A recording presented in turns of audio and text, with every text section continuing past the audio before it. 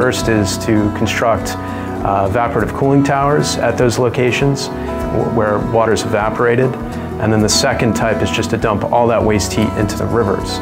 Uh, the, the first option reduces river flows, whereas the second option increases the, the heat in the river. What we don't know um, regarding electricity production are the trade-offs of relying on uh, river systems for conveying waste heat away. We had three goals. One is to understand how much uh, power generation in the region depends on rivers, how those rivers are impacted by power plants, and then how the rivers themselves help support energy production and minimize impacts downstream.